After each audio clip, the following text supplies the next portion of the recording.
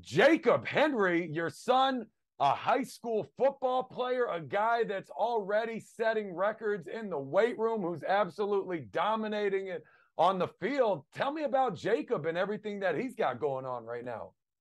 You know, man, I'm real proud, you know, to to be able to say this, but uh, I don't have to push Jacob.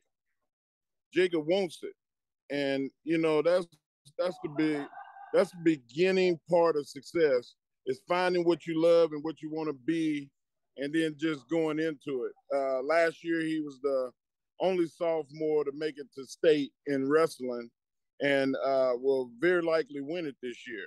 And as has that as his ultimate goal. Uh, he's a you know big time football player. Uh, he's also going to win state in powerlifting this year. Uh, Jacob is one of those kids. Well, I mean, he you talked about him him squatting 600 and deadlifting 600. Those were not limits. Those that's what we allowed him to do because uh, we wanted him to focus on football and we didn't want to tear his muscles up.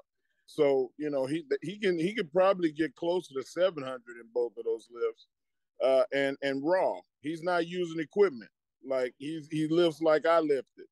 Uh, I didn't use equipment. I used the belt and knee wraps, and that's what he'll do. Absolutely. Well, if you're talking about a kid who's going to be a, a state champion wrestler, a state champion power lifter, you know, hopefully a state champion football player too, but easily one of the best players in the state, he's going to be able to write his ticket. So, so here's my question for you with bro. You want to hear something funny?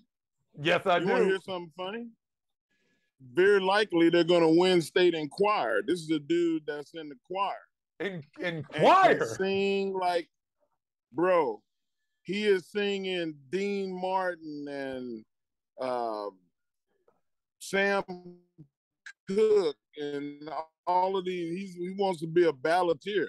Like you hear him, he's such a well-rounded kid, man. Love God more than anything, and and I just want to see him have uh, every outlet that he wants to try his his hand in. I want him to have some success, and I, I, just I believe in opportunities. Look, we all know all about your Hall of Fame career. You set the bar extremely high, higher than a dad possibly could ever fathom.